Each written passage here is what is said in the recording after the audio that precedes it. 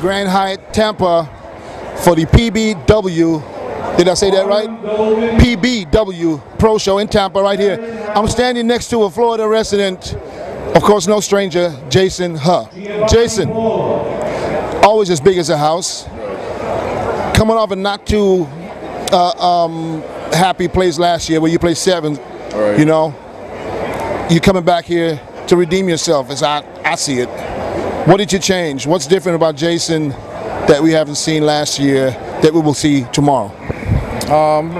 It's going to be a fuller package, uh, for one. Uh, my planning and prep was a lot more uh, planned out and, and, and, and done strategically this year, versus last year it was uh, it was kind of scrambled. I threw it together and it, it, it didn't flow right. I was over dieted, um, over dehydrated, and so this year we're, we're taking a different approach. We want to dry out just you know the right amount, but bring that a fuller package, like I said, than last year. So, but you also, is this your first time you do your prep by yourself, if correct?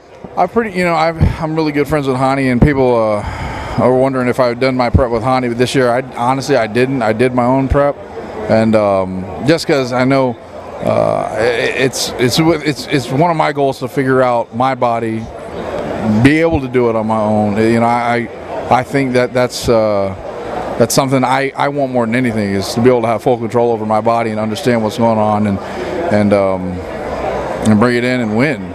You know. So, not, not having a trainer and basically doing it by yourself, what what motivates you? What keeps you motivated? I've always I've always been motivated. I don't need a trainer. I've never needed one. I've always just been self motivated to, to be the best bodybuilder I possibly can. You know, since day one of picking up weights, it was never about having somebody push me. I always, if it's anything, I'd I'd do better by myself, just pushing myself. You know, doing it, doing my own thing. What about training? Did you change anything training wise? Did you concentrate on any body parts, or you know, or do you have any weak body parts like calves and quads? kidding. I'm just kidding. I try to bring up my uh, my upper body a little bit more to match my lower body, my back, uh, my arms mainly. Yeah. So, Well, your arms don't look like they have uh, a size issue. well, yeah. Well, maybe too big. Ah, yeah, right. no, serious.